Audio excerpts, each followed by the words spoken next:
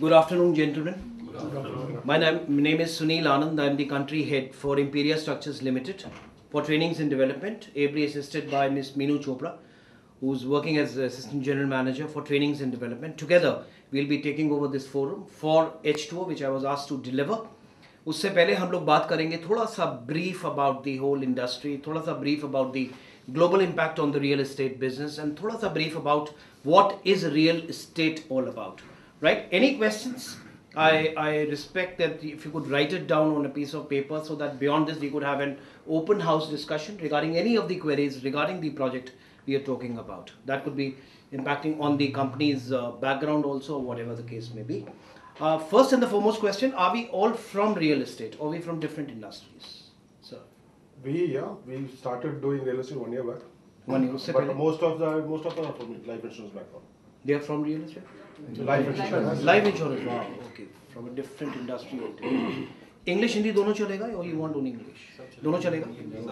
मेरा भारत महान मतलब दोनों चलेंगे। In it will be displayed in upon locations oh perfect then I will be comfortable ठीक है फिर मेरा कल हिंदी का इस्तेमाल थोड़ा सा ज़्यादा करना चाहिए ठीक है चलिए सबसे पहले शुरुआत करते हैं and very first slide if you see Imperia securing smiles yeah I, I mean just please uh, ignore this line. Thank you so much Rupi securing smiles इसका क्या मतलब है क्या अभिप्राय है? इसका ये हम थोड़ा सा जान लेते हैं। सिक्योरिंग स्माइल्स से हमारा उत्तरदायित्व तो थोड़ा सा बड़ा हो जाता है। थोड़ा हमारी डायमेंशंस थोड़ी बड़ी हो जाती हैं। और horizons pick to expand on terms of securing smiles हम लोग चाहते हैं कि आप किसी रूप में हमारे साथ जुड़े हैं भले एक एसोसिएट के रूप से चैनल पार्टनर के रूप से आप हमारे साथ जुड़े हैं या फिर मात्र एक कस्टमर एक एंड यूज़र की हैसियत से अगर आप हमारे साथ जुड़े हैं तो आपकी जो मुस्कान है, वो सिक्योर रहनी चाहिए, वो बरकरार रहनी चाहिए।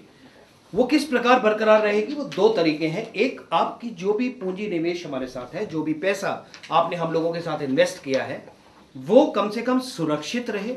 ये सबसे पहला उद्देश्य है हमारा।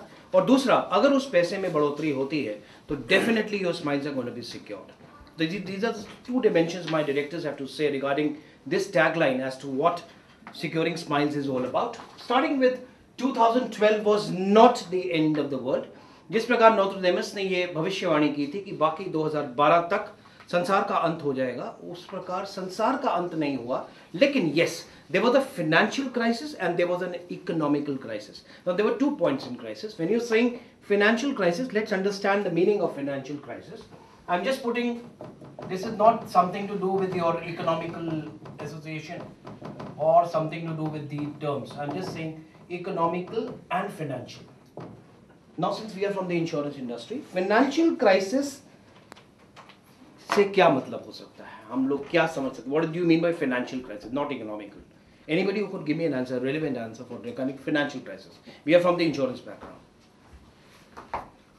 anything and think out of the box it's got nothing to do with real estate gentlemen इसका real estate rotation will be stopped will be stopped yes any what financial crisis in terms of ठीक है that's one point of view anything else anybody else like to add to what the gentleman said rotation of money stops तो it becomes a financial crisis एक crunch आ जाता है market में। बिल्कुल सही है उत्तर। इसके अलावा कुछ और इसमें एडिशन सब कुछ आप कहना चाहेंगे? कि the foreign investments we used to come in. नहीं नहीं. बहुत ज़्यादा एक्सपेंड करेंगे. Nothing to with foreign investments और कुछ what you mean by financial crisis Credit goes bad, yeah. But in sense, loans don't. Okay then then economical crisis Economical means your inflation is uh, is issue. दोनों terms साथ साथ जुड़ जाती हैं. मैं एक गरीब आदमी हूँ below the poverty line so called आज की डेट में भी अगर हम कुछ दिन पहले पेपर में हम पढ़ रहे थे तो पॉवर्टी लाइन में अभी कई राज्य ऐसे हैं जहाँ पर ज़्यादातर लोग अभी भी पॉवर्टी लाइन से नीचे हैं।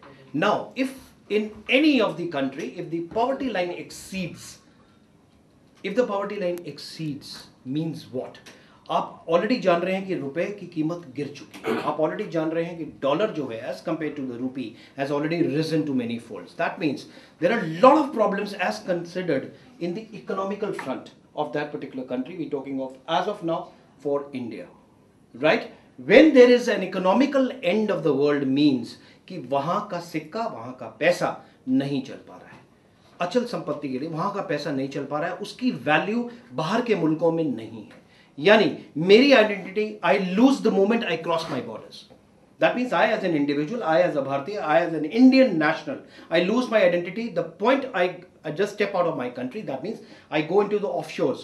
मेरी आइडेंटिटी लूज हो जाती है बिकॉज़ मेरे पैसे की कीमत मेरी आइडेंटिटी को नहीं सुलझा सकता उसकी वजह भले कोई भी हो we not getting into the nitty gritties but that is actually affecting ना how does that affect let's understand global recession is now impacting directly into India that is mainly because of recession recession ने बहुत ज़्यादा problem create करी थी 2008-2009 में। उसके उपरांत आज तक हम अभी तक ठहर नहीं पाए हैं। हम अभी तक ये नहीं सोच पाए हैं कि क्या हमने कुछ गलत किया था या हम जो अब कर रहे हैं वो गलत है। क्योंकि इन्फ्लेशन 9 परसेंट से भी ऊपर जा चुका है आज। आज अगर मैं प्याज की कीमत, जो कि एक आम आदमी के लिए भी इट्स बियॉन्ड रीच एक एक जमाना था जो टमाटरों की कीमत बियॉन्ड रीच होगा प्याज की कीमत वाकई असल में आँसू आ जाते हैं जब हम मार्केट में लेने जाते हैं। I am talking to that यानी गरीब आदमी, एक आम आदमी, जिसको हम मैंगो पीपल भी कहते हैं, वो आज की डेट में अगर सब्ज़ी लेने जाता है तो शायद कहीं ना कहीं उसका जो बजट है, वो गड़बड़ा जाता है। मैं आपका सिर्फ़ ध्यान यहाँ ले जाना चाहता हूँ कि in six months investments in gold has also fallen to almost 28 percent आज अगर मैं कमोडिटी में इन्वेस्ट करता हूँ, मात्र एक इन्वेस्टर के रूप से। I am talking in terms of in front of as an investor even if I am I am actually investing in commodities that mean still I am losing money आज भी मैं अगर सोचता हूँ कि चल यार, पैसा बचा हुआ है मेरे पास कमोडिटी में इन्वेस्ट करके मैं बैठ जाता हूँ, कोई फ़र्क नहीं पड़ता, लेकिन नहीं। ऐसा नहीं है। अगर आप इस चार्ट में भी देखें तो 28 प्रतिशत गोल्ड गिर चुका है। अगर स्टॉक मार्केट की बात करें 9 11 के इसके बाद कभी भी आज तक it is still unstable that havoc which was created across the world, across the shores, it is still creating havoc because it is unstable. The market in stocks are still unstable. Where do we invest? Interest rates continue to stay high. हर जगह का interest rate आज की date में आप bank में भी एक अकाउंट खोलते हैं पाँच छह परसेंट आपको मिलता है, लेकिन उससे क्या फ़ायदा होता है? आम आदमी को कोई फ़ायदा नहीं है। सौ पर एक सौ छह म्यूचुअल फंड्स की अगर हम बात करें total value of a mutual fund towards the end of a financial gain is giving you zilch is giving you zero it's not giving you anything that means आज का इन्वेस्टर डरा हुआ है। आज एक आम आदमी सोचता है कि मैं अपनी पूंजी को कहाँ निवेश करूँ? घर में लॉकर में रखूँ? इट्स नॉट सेफ़ बैंक में रखूँ? I do not get anything mutual funds में डालूं, पैसा गिर रहा है। गोल्ड में अगर मैं इन्वेस्ट करता हूँ 28-30 प्रतिशत नीचे आ गया है। यानी मेरा अपना कैपिटल इन्वेस्टमेंट भी कम होता जा रहा है। सौ रुपया मेरा कैपिटल इन्वेस्टमेंट है। अगर सौ का अट्ठानवे रह जाए तो आप सोच सकते हैं कि मैं और आप किस चीज़ की बात कर रहे हैं। Understanding what should be done the most important way do invest today हम लोग कहाँ इन्वेस्टमेंट करें? वहाँ करें जहाँ lack of good investment option है which can actually break inflation is your investment giving you return और रिड्यूसिंग योर कैपिटल सौ का अठानवे तो नहीं कर रहा, भले एक सौ एक ना करे। मैं कहता हूँ स्टेबल रहे। मैं एक आम आदमी हूँ, मैं पचास हज़ार रुपया तनख्वाह लेता हूँ। लेकिन क्या महीने का जो पचास हज़ार रुपया मुझे पहली तारीख को मिलता है, क्या वो तीस तारीख को भी पचास रहता है? नहीं। तीस तारीख को वो मात्र दस हज़ार या आठ हज़ार रह जाता है, जो कि मेरे सारे एक्सपेंसेस को हटा के होता है। That eight thousand becomes my saving net towards the end of the month अगर वो आठ हज़ार, दस हज़ार में परिवर्तित हो जाए तो I will be the luckiest person because मेरी सेविंग में इजाफा हो रहा है मेरी इनकम में नहीं मेरी सेविंग में that's the most important thing this is ये मैं आपका ध्यान ले जाना चाह रहा हूँ you must always be a sensible investor who is a sensible investor let's understand the real estate growth across some of the cities i'm just giving you a vivid example wherein if you see in patna 100 units bought in 2007 will give you somewhere in the region of 152 that means डेढ़ गुना आपको मिल रहा है in terms of investment in Patna शहर पटना शहर में अगर आपने पूंजी व्यवस्थित ढंग से लगाई है इन रियल एस्टेट आपको डेढ़ गुना का फ़ायदा होता है, जबकि दिल्ली के अंदर अगर आप देखें, उन्हीं सौ यूनिट्स की वैल्यू 200 हो जाती यानी almost double across the Indian shore in Delhi यानी दिल्ली एंड एनसीआर की मार्केट जो कि अगर जनवरी मार्च 2013 में भी अगर हम इंडेक्स में देखें तो नोएडा ग्रेटर नोएडा और गुड़गांव में एक यानी 188 यानी 88 परसेंट तक आपको वैल्यू फॉर योर मनी मिलता है if you are investing in a market of a suburban area like an NCR थोड़ा सा आपका ध्यान पीछे ले जाना चाहूँगा। Millennium year 2000 99 September to 2000 March that was when Delhi की बाउंड्री जिसको कहते हैं radius of Delhi was 45 kilometres and today the radius of Delhi is 139 kilometers. tomorrow the radius would be 200 plus because it is cutting shores of bhiwani. It is cutting shores of beyond mathura. Ncr vistrit kshetra ho chuka hai.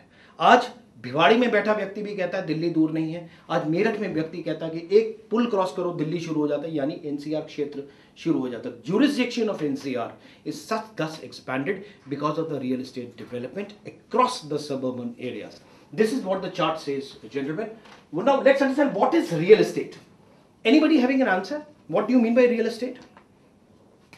What do you mean by this term called real? This got nothing to do with your uh, the actual presentation. I'm just giving you an example. ये सभी ने सुना what do you mean by real estate? What do you mean by real? चलिए संधि विच्छेद करते हैं. Real.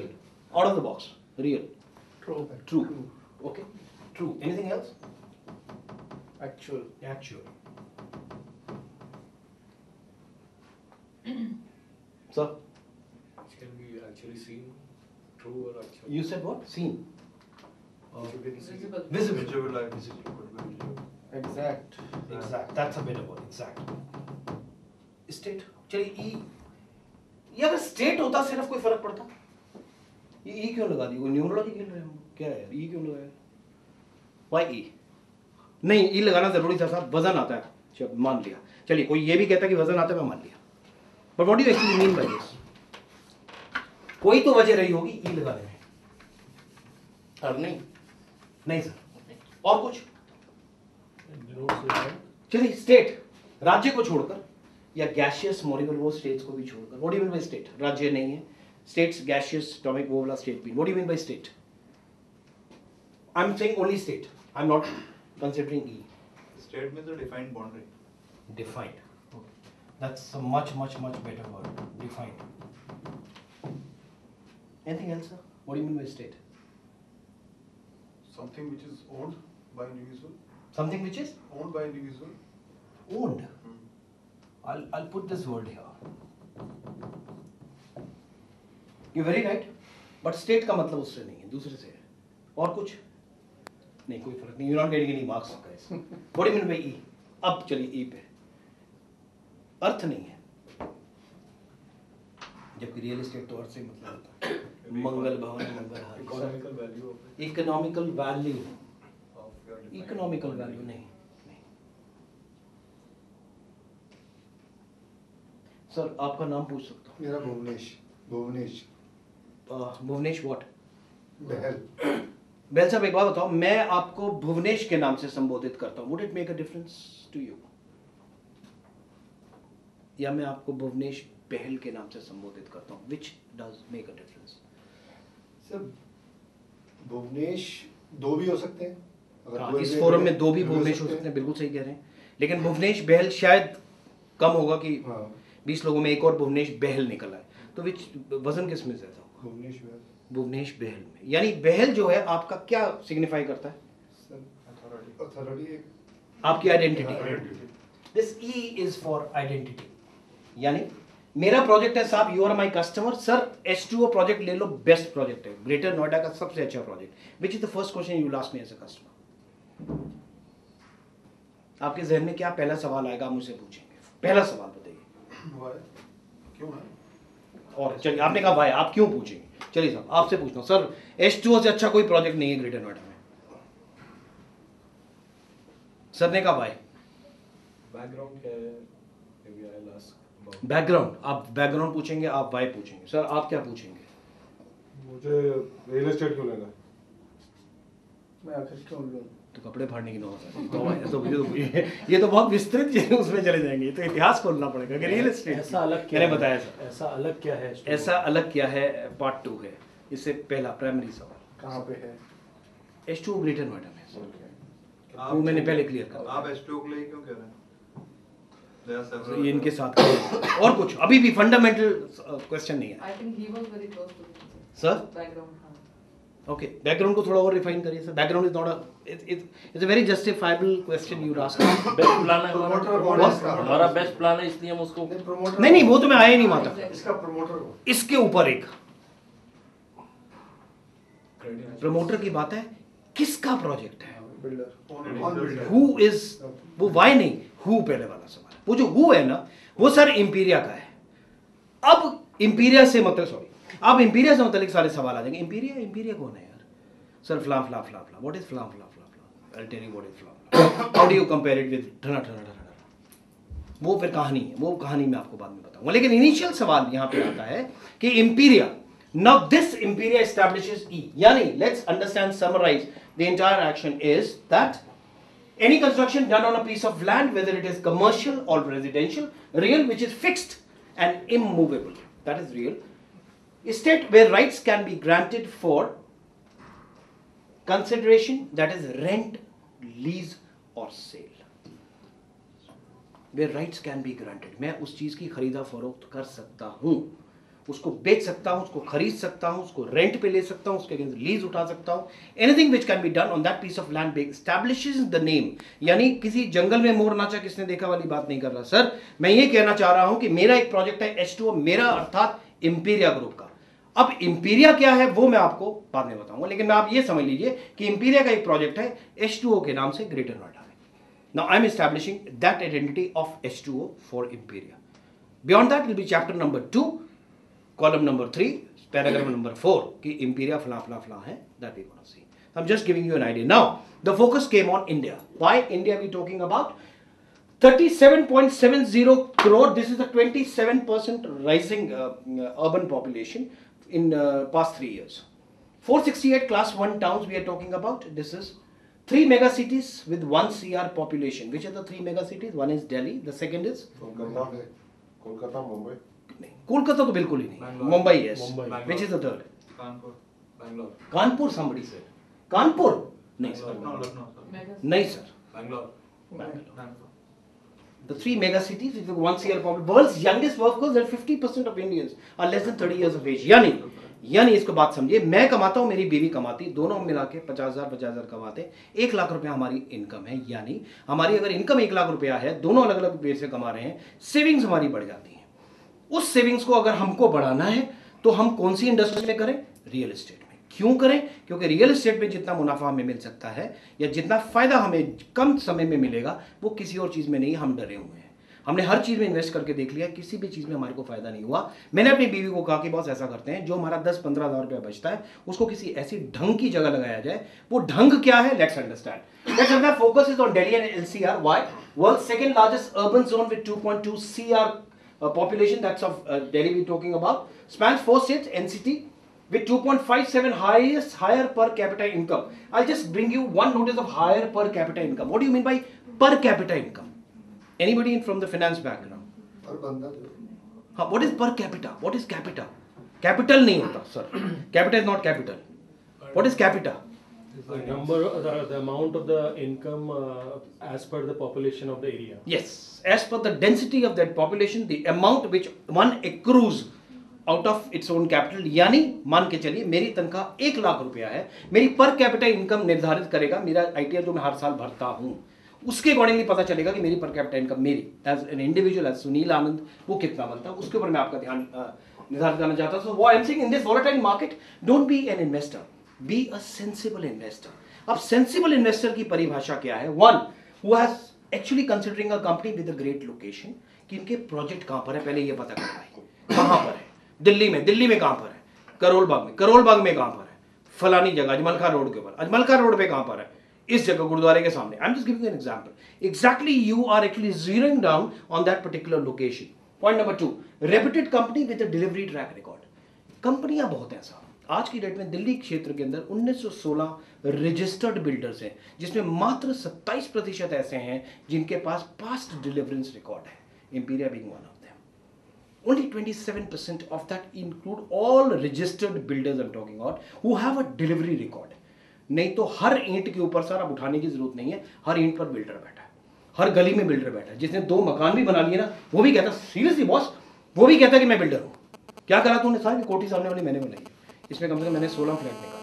Builder मान लिया बिल्डर, आज की रेट में आप I was working for a company call Shipra Shipra mall I was working for that I was heading that mall which is on the national highway N H twenty four we talking about in the two thousand four two thousand five two thousand five में हमने शिप्रा खोला।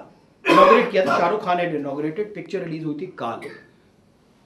Kaal picture which was release and we call Shahrukh.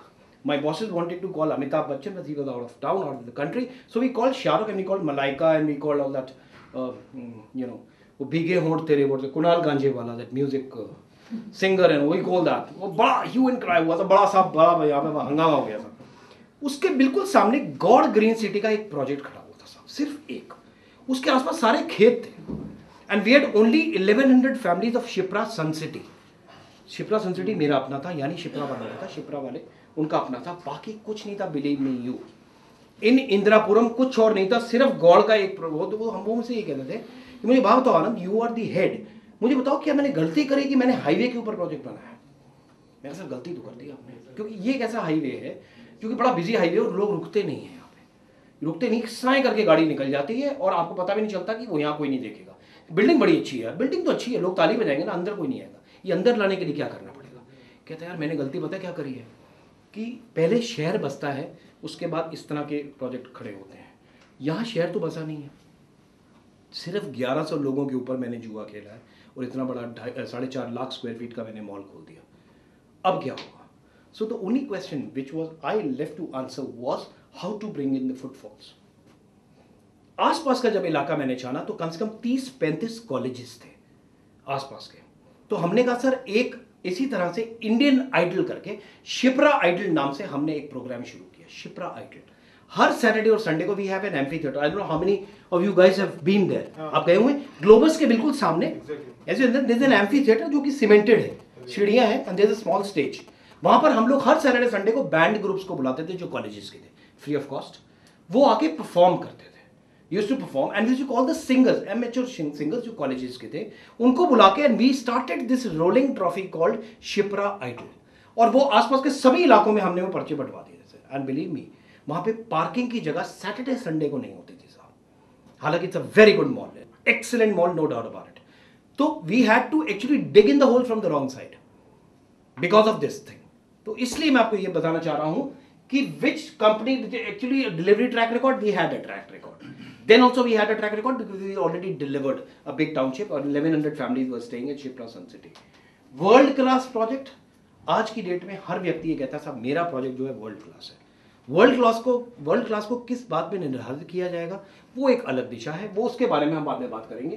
But that guarantees higher higher returns what you mean by higher returns high returns का मतलब ये नहीं होता कि आपके सौ के आपके डेढ़ सौ मिले हाई रिटर्न्स का मतलब ये होता है कि आपका पैसा सुरक्षित रहे।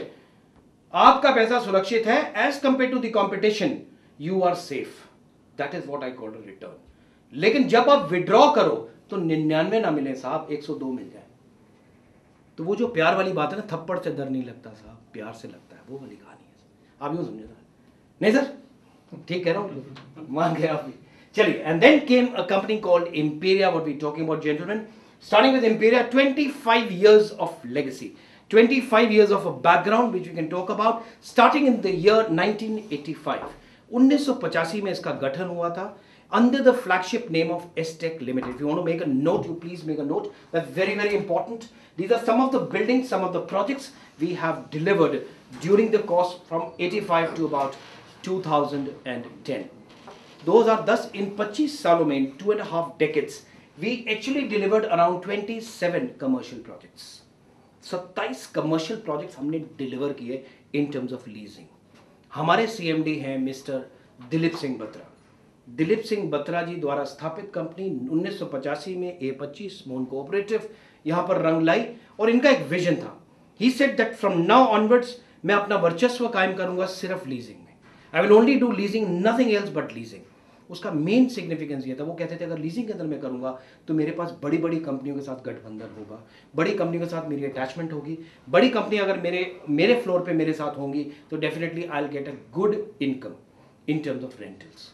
And that also happened. We leased around 2 million square feet of an area to Fortune 500 companies, including top mul- uh, multinationals which were into electronics, manufacturing, banking, and consultancy. These being some of the clients which we have Siemens, Videocon, Tata, Blue Star, Globarian, Legrand, Citibank, Samsung, Larsen and Toubro, Diesel, Reliance, Voltas, Pentair, Aptara, वगैरह वगैरह ये सारी companies हमारे साथ गठबंधित हैं from 1985 till 2010 and now going ahead also. And there are many more companies which have already attached hands.